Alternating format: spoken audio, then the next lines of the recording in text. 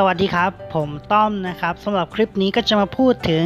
หุ้นเบรน หรือว่าบริษัทแบงก์คอกแลนด์จำกัดมหาชน จะเป็นยังไงนั้นนะครับ ไปชมกันในคลิปเลยครับ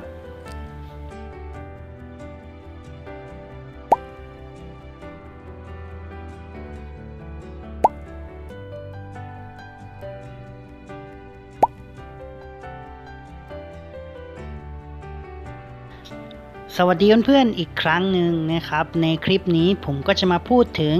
หุ้นเบรนนะครับ หรือว่าบริษัทบางกอกแลนจำกัดมหาชน ซึ่งหุ้นเบรนนะครับก็จะมีประกาศขึ้น XD จ่ายปันผลในวันที่ 30 กรกฎาคม 2564 นี้นะครับ ก็เลยอยากจะเอามาเล่าเพื่อนๆได้ฟังกัน สำหรับธุรกิจของหุ้นเบนนะครับ ก็ทำธุรกิจเกี่ยวกับพัฒนาสังหาริมทรัพย์เพื่อขาย แล้วก็ในส่วนของการให้เช่าตึกอาคารต่างๆนะครับ แล้วก็รวมไปถึงในส่วนของศูนย์นิทรรศการอเนกประสงค์นะครับ อย่าง Impact Arena เมืองทองธานีนะครับ อันนั้นก็จะเป็นของหุ้นเบน สำหรับงบผลประกอบการของหุ้นเบนนะครับแล้วก็จะเห็นว่าปีปฏิทินของหุ้นเบนเนี่ยจะไม่เหมือนเจ้าอื่นนะครับ ซึ่งตอนนี้จะเป็นงบผลประกอบการทั้งปี 64 ก็จะเป็นการรายงานผลตั้งแต่วันที่ 1 เดือนเมษายนปี 63 มาจนถึงวันที่ 31 เดือนมีนาคม 2564เราก็จะพบว่ารายได้รวมของหุ้นเบนนะครับ ก็อยู่ที่ 3,257.84 ล้านบาท ซึ่งมาคิดเป็นกำไรสุทธินะครับ เราก็พบว่าตัวบริษัทนะครับก็ขาดทุน ซึ่งขาดทุนอยู่ที่ 801.33 ล้านบาท ซึ่งคิดเป็นขาดทุนต่อหุ้นก็อยู่ที่ 5 สตางค์ต่อหุ้น โดยที่ในปี 63 นะครับเขามีรายได้รวมอยู่ที่ 7,442.37 ล้านบาท คิดเป็นกำไรสุทธิก็คือ 1,216.60 ล้านบาท ส่วนกำไรต่อหุ้นนะครับ ก็อยู่ที่ 7 สตางค์ต่อหุ้น จากงบผลประกอบการข้างต้นนี้นะครับ แล้วก็จะเห็นว่ารายได้ของหุ้นเบนในงบผลประกอบการปี 64 เนี่ย ก็น้อยกว่าของปี 63 แบบเยอะมากๆเลย ถ้าเราไปดูนะครับย่อยลงไปดูในส่วนของรายได้จากการดำเนินงานนะครับ ซึ่งมันก็จะเป็นรายได้จากการขาย รวมกับรายได้จากการให้บริการนะครับ เราก็จะเห็นว่ารายได้ตรงนี้เนี่ยมันลดลงมาจากของปี 63 ถึง 57.37%นะครับก็ถือว่าค่อนข้างเยอะอยู่พอสมควรนะครับ คือหายไปแบบครึ่งต่อครึ่งเลยนั่นเอง โดยที่หลักๆนะครับรายได้ที่หายไปเนี่ยก็เป็นรายได้จาก Impact ซึ่งก็เป็นรายได้จากการเช่าและก็การให้บริการนะครับ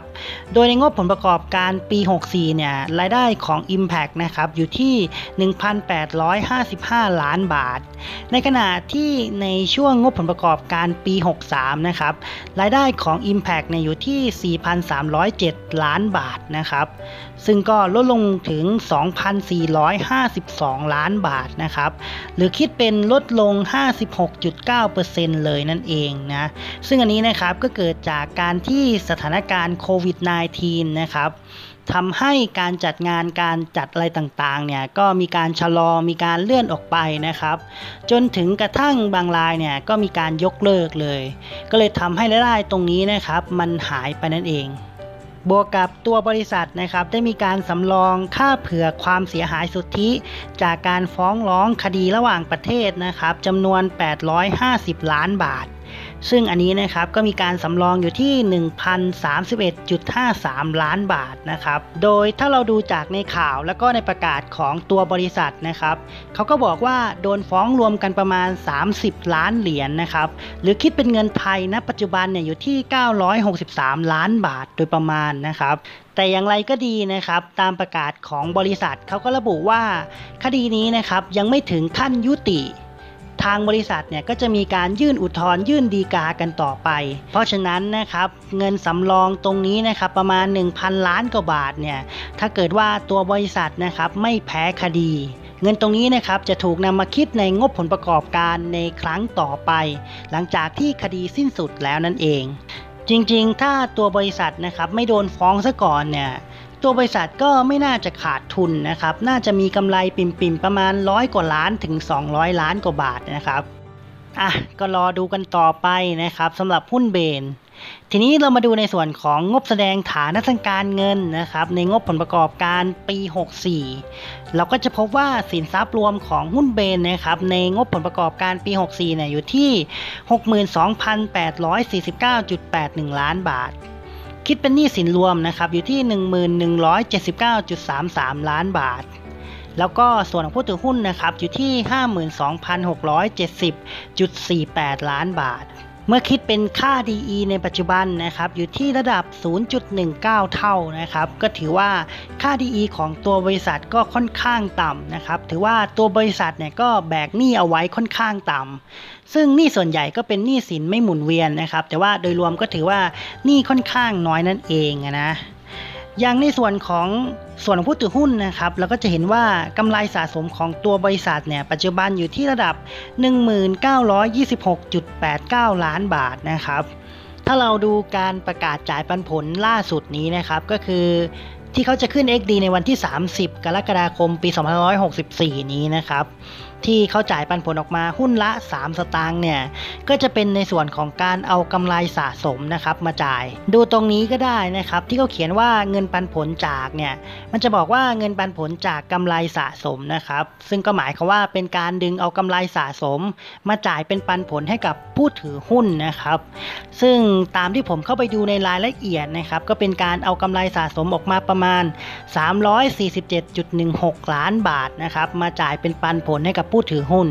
โดยภาพรวมนะครับก็ถือว่างบฐานะทางการเงินของตัวบริษัทก็ยังแข็งแกร่งอยู่นะครับ เพียงแต่ว่าในส่วนของงบผลประกอบการของตัวบริษัทก็กำไรก็ติดลบนะครับจนกลายเป็นขาดทุน ซึ่งก็ส่วนหนึ่งนะครับก็มาจากวิกฤตโควิด -19 แล้วก็ส่วนหนึ่งก็มาจากในส่วนของอคดีนะครับที่ตัวบริษัทถูกฟ้อง ก็เลยต้องมีการสำรองในส่วนตรงนี้เอาไว้ก่อนนั่นเองนะครับ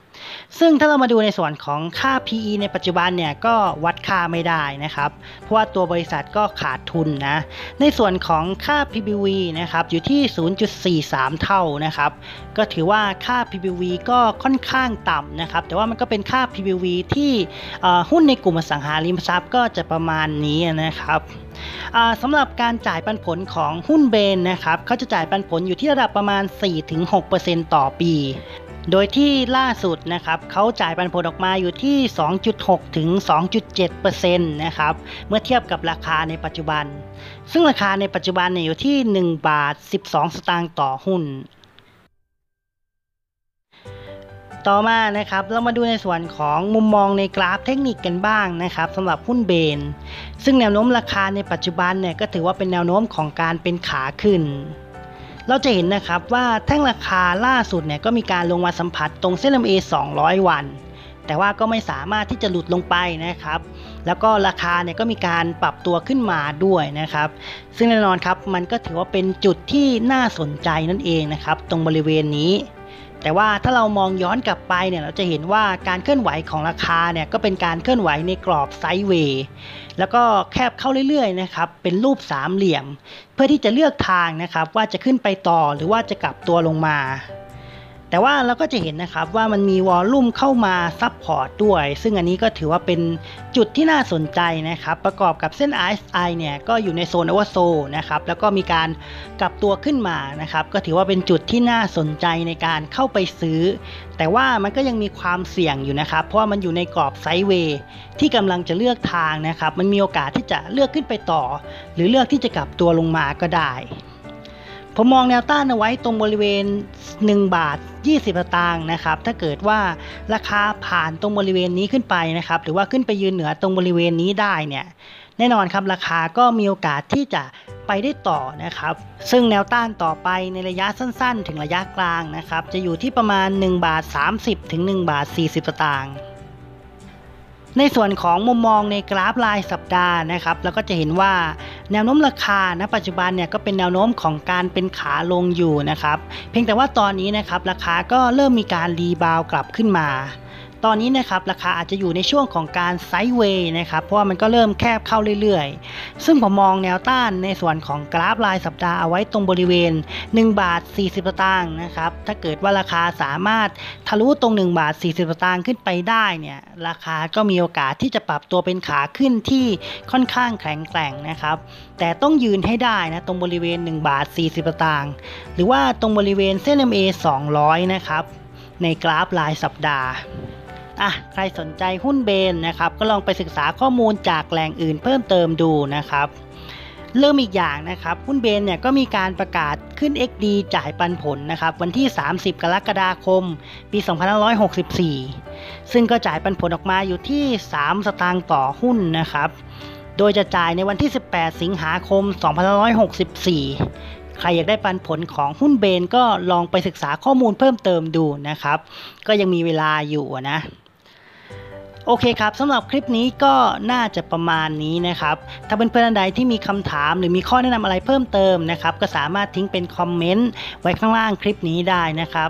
สำหรับเพื่อนๆที่เห็นว่าคลิปนี้มีประโยชน์นะครับ ก็สามารถกดแชร์ไปเพื่อนๆหรือคนที่รู้จักของเพื่อนๆได้นะครับ แล้วก็เพื่อนๆไหนที่อยากจะเข้ามาพูดคุยกับผมนะครับก็สามารถแอดเข้ามาพูดคุยกันได้ที่แฟนเพจมือใหม่เข้าใจหุ้นสำหรับคลิปนี้ก็น่าจะจบแต่เพียงเท่านี้นะครับไว้เจอกันใหม่คลิปหน้าครับ คลิปนี้สวัสดีครับ